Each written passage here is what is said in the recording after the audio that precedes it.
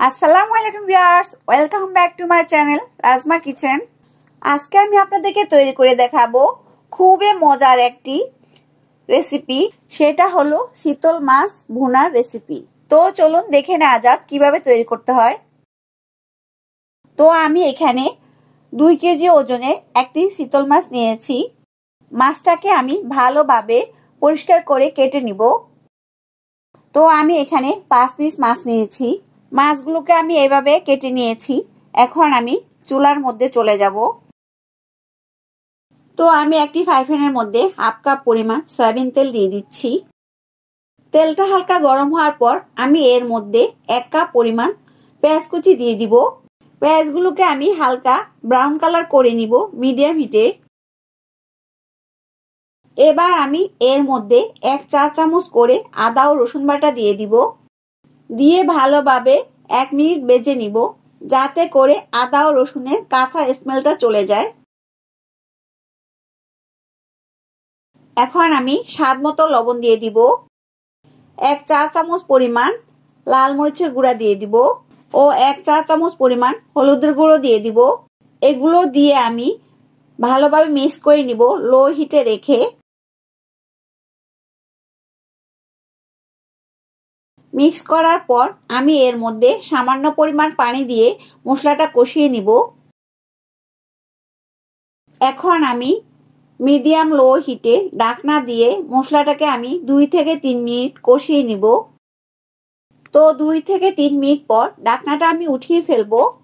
উঠিয়ে আমি একটু নেড়ে ছেড়ে দিব। এখন আমি এর মধ্যে মাছগুলো দিয়ে দিব। দিয়ে আমি একটু উল্টিয়ে পাল্টিয়ে দিব।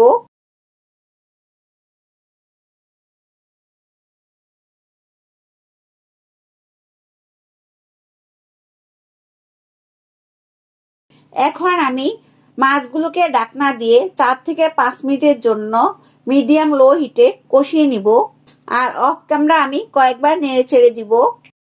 চার থেকে পাঁচ মিনিট পর ডাকনাটা উঠিয়ে ফেলব। এখন আমি এর মধ্যে এক কাপ পরিমাণ পানি দিয়ে দিব। এখন আমি মাছগুলোকে ডাকনা দিয়ে ছয় থেকে সাত মিনিটের জন্য রেখে দিব। আর এর মাঝে আমি অফ ক্যামেরা কয়েকবার নেড়ে ছেড়ে দিব। তো ছয় থেকে সাত মিনিট পর ডাকনাটা আমি উঠিয়ে ফেলছি। এখন আমি এর মধ্যে দুইটি টমাটো কেটে দিয়ে দিব। দিয়ে একটু নেড়ে চেড়ে নিব। এখানে আরও দিয়ে দিচ্ছি চার থেকে পাঁচটা কাঁচামরিচ ও দুই টেবিল চামচ পরিমাণ ধনিয়া পাতা কুচি। দিয়ে একটু ভালোভাবে মিক্স করে নিব।